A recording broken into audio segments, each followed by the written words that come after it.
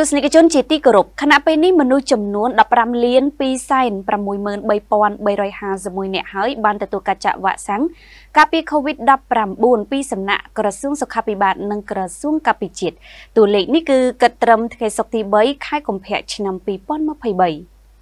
កត្រឹមថ្ងៃទី3ខែកុម្ភៈឆ្នាំ2023ក្រសួងសុខាភិបាលនិងក្រសួងការពារជាតិបានចាក់វ៉ាក់សាំងការពារ COVID-19 ជូនមន្ត្រីរាជការប្រជាពលរដ្ឋនិងកងកម្លាំងប្រដាប់អាវុធនៅទូទាំងប្រទេសសរុបចំនួន15លាន263,351នាក់ក្នុងនោះរួមមាន ទី1ចាប់ពីអាយុ18ឆ្នាំឡើងចំនួន10លាន385,555នាក់ទី2ចាប់ពីអាយុ12ដល់18ឆ្នាំចំនួន1លាន855,508នាក់ទី3ចាប់ពីអាយុ6ដល់12ឆ្នាំចំនួន2លាន99,320នាក់ទី4អាយុ5ឆ្នាំចំនួន431,907នាក់ទី5អាយុ3ដល់5ឆ្នាំចំនួន496,060នាក់ដល់ឡែកសម្រាប់អ្នកបានចាក់ដូសទី3ចំនួន10លាន522,842នាក់ដូសទី4ចំនួន4លាន965,459នាក់ដូសទី5ចំនួន1លាន542,880នាក់និងដូសទី6ចំនួន178,920នាក់នេះបើយោងតាមរបាយការណ៍ផ្លូវការពីក្រសួងសុខាភិបាល